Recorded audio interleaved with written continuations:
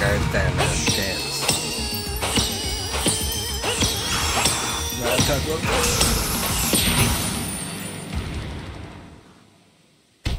Oh, I thought he killed me for a second.